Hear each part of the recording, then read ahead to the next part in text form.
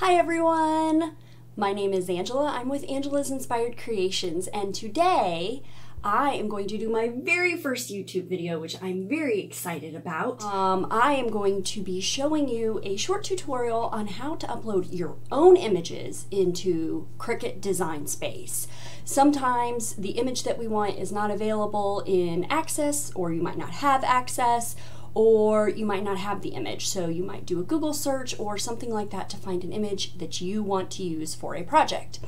Now, um, I'm going to be on my computer, like you can see in front of you, um, and I'm going to just show you quick and sweet how to make this happen. So if you stick around all the way until the end, I'm going to share one of my favorite sites with you where I get most of my images from that I can use even as a business that are commercial free. It doesn't matter if I'm selling the item, it's all free, part of the Creative Commons license. Now, the first thing that I have open is I have my Cricut Design Space. As you can see here, I just opened up a new project, which is blank right now. And I would like to add a new project. So I'm going to go to upload right here.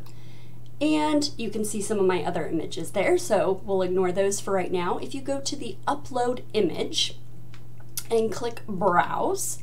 And it does tell you that you have to have certain file types, PNG, JPEGs, GIFs, SVGs, DXF, or BMP files. Um, so if you use Photoshop, like I use Photoshop quite a bit, I actually cannot use my PSD files. So please remember that when you are uploading. So here you can see my download file is pretty crazy. Um, but let's take just a simple file like this butterfly because if you haven't noticed already, I have a little bit of an obsession with butterflies. It actually is an SVG file, so it already pulls it in exactly how I want it. I need to remember to change the name. This is one of my worst habits. I always forget to change the name, and then they have these random tags, and then I can't find the images that I want. So, you can change your name to change the name of the file to butterfly, and then I would click save and then I could just click on this image and insert it. Now, the problem is, what if I don't want to upload a PNG? What if I want to upload something like a JPEG or a PNG file? Do, do, do, ah, here we go. Another butterfly. Shocker. And it's purple. So I'm going to click on this butterfly. And of course, it's already um, got the clear background because it's a PNG. I need to find one that has a background for you guys. Okay, so when you get here, it's going to let you take away anything from this file that you might not like. You've got your zoom in, zoom out buttons, which are really helpful if you have small details that you need to try and remove, um, and an undo and a redo button. There's also the, this is the select and erase, which means I can do like that. Say I don't want the body of the butterfly, so I'm gonna take it out. You can erase and you can make this larger or smaller. So if you want to erase large spots, like maybe I don't like these little lines here. So I'm going to just kind of eh, take them out. Boop. Done. All right, and then there's also crop. So if let's say you had something all the way at the bottom of your image and you knew that you didn't want it, you could crop out just the picture. And that way you don't have to worry about trying to erase something that's going to take you forever. All right, so then I'm going to continue. Now, this is very important because as you can see, you've got two different images here. We want to save it as a cut image because that means when we load it into our project, Cricut is going to cut it for us on our machine. If we do a print then cut, we can only print it on our machine and then you can send it into Cricut to cut around the edges, but it only does a certain size and we'll get into that in another video.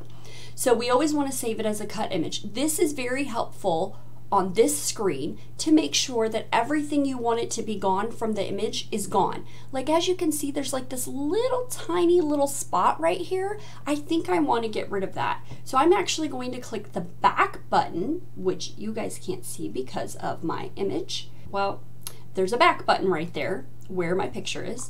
So if you go back, it gives you the picture again. So I'm going to use my erase erase this little bit that I don't want. Boop, just like I just was doing. Doop, doop, doop, doop, doop, doop, doop, doop, doop, doop, doop. Boop. And then I'm going to get that little tiny hair there that was bothering me. and I'm going to click continue.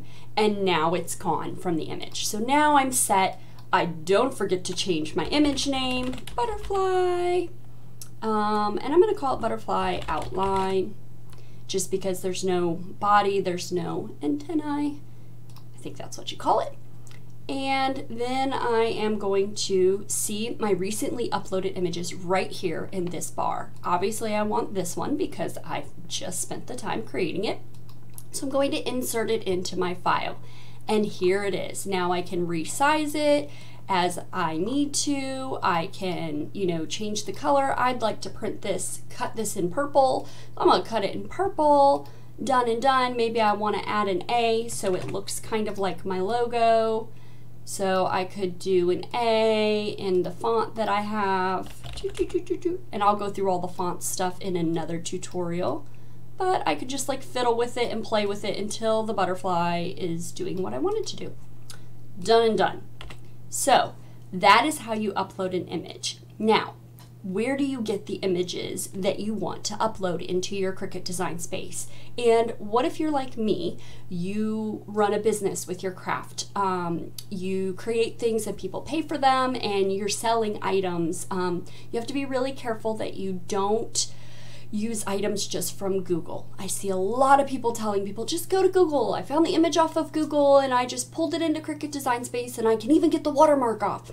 You can't do that. That's actually copyright. So you have to be very careful that you're kind of following the rules if you don't want to get in trouble. And I'm the type of person, I don't like to get in trouble. I'm definitely a rule follower. So here's what I did. I researched a ton of information about what kind of pictures that I can use as a commercial business without having to pay a ton of money. So there's actually something called the Creative Commons license, I believe is what it call, it's called, and it allows you to use images for free. They're royalty-free stock images that are shared by the community and they don't have to um, be paid for and they can be used in items that you sell. Yay! So, my favorite site to go to is a site that I found in my research called Pixabay. Um, and the best thing about Pixabay is that I can search for an image. So see, I've already come to Pixabay right here. And I can type in my favorite thing, a butterfly. And I'm going to click enter. Now it brings up all these pictures. I don't really want to use these type of pictures in my Cricut app. But I can go right here to images and scroll down to vector graphics that's going to give me my SVG, PNG files that I can actually use and most of them are going to be layered if they have an SVG because you want the layered file if you want to be able to cut different parts of the butterfly in different colors without having to do it yourself. And that's a whole nother tutorial. So I can go in here. Oh, look, there's one of the butterflies in my account. Um, and I can find a butterfly that I like. I'm going to pick one that has colors, like this one. And it says free download. Now you do have to have a um, an account, and I think I just set mine up and connected it to my Facebook, so it's quick and easy for me to log in. So when you go to free download, the important thing to remember is that you want the vector graphic because that's an SVG. You want the SVG, and I'm going to download this, pops up right there. Um, and then I'm going to come into my Cricut design space. You want the SVG because the SVG is the layer file. It has every different color that you need um, already there. Now I will say sometimes when I upload SVGs from Pixabay, they're not always layered correctly. Whoever created the file didn't do something right and they don't always come in correctly. So we're going to see if this one does. Uh, this one came in a little bit weird but I'm gonna go with it. And of course, I'm gonna change my name. Uh, I've got three butterflies in this file and we're gonna just see what it looks like. So I'm gonna save it. SVGs, when you save, you don't have to remove the background, any of that. So I'm going to just insert this weird looking butterfly file. Let me delete this one. And as you can see, it's coming in over here with like a gazillion files. You just gotta go through and figure out what's what. Like, I only want this little blue part so I can remove a lot of these files. Like here's the blue butterfly down here at the bottom. So I can probably delete everything, all these other little tiny groups, and it'll delete those other little butterflies. Yeah, so there we go. Now I almost have just this little butterfly. And here's all my cut files. the different colors so that when I hit make it, it's going to automatically separate it into the different colors on my Cricut design space onto my different mats and I'm set and I'm good to go. So Pixabay is awesome. It's one of the only sites that I found that lets you sort the images by vector graphics. And I have found so much through here. I use almost every image um, that I use in my business, I usually find in here. And if I can't find it in here, then yeah, I usually end up at Etsy purchasing files. But you don't always have to do that when you have CCO type files available. So look for them, find them, do things the right way so that you don't get yourself in trouble. Uh, I hope that you have enjoyed this video. You figured out how to upload your um, your images directly from your computer so that you're not having to always rely on Cricut Access or what you have on your um, cartridges already.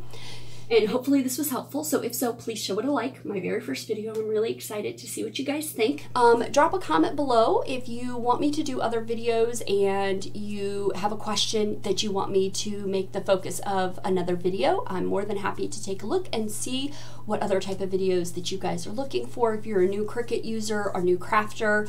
Um, and if you wouldn't mind, hit that subscribe button down in the corner. I would really appreciate it as I try and grow my channel. Thank you so much for listening. Have a wonderful day. This is Angela signing off. Bye.